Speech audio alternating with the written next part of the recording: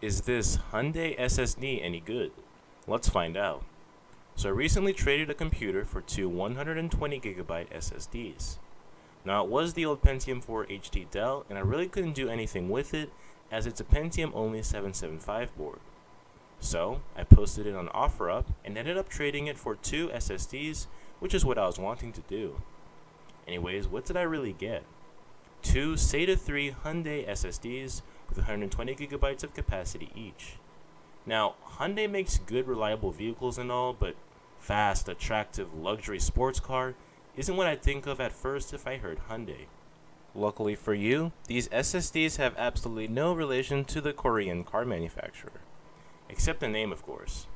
They're actually made by the more familiar AMD graphics card brand, Sapphire. Taking a close look at the drive, there's nothing out of the ordinary here. It's a 2.5 inch SATA SSD. The case is made out of plastic and it's fairly attractive, but that doesn't really matter. But in terms of the actual board, it actually shares the same PCB in a lot of popular SSD brands like PNY.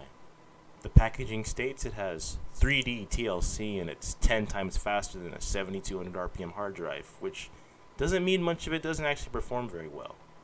Opening crystal disk info, nothing looks too out of the ordinary, but the crystal disk mark results seem promising when comparing the Hyundai SSD to my Silicon Power one, which is in the same tier if you will. It actually did really well if I'm being honest. Coupled with a 5 year warranty for around 25 bucks, it's not a premium SSD, but I've been using it in my X79 workstation, and it's made using my PC much less painful.